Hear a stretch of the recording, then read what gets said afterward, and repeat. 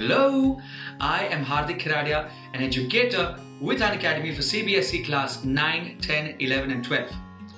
Learning social science can help us understand human interactions of the past, the interactions that are occurring now and those likely to occur in the future.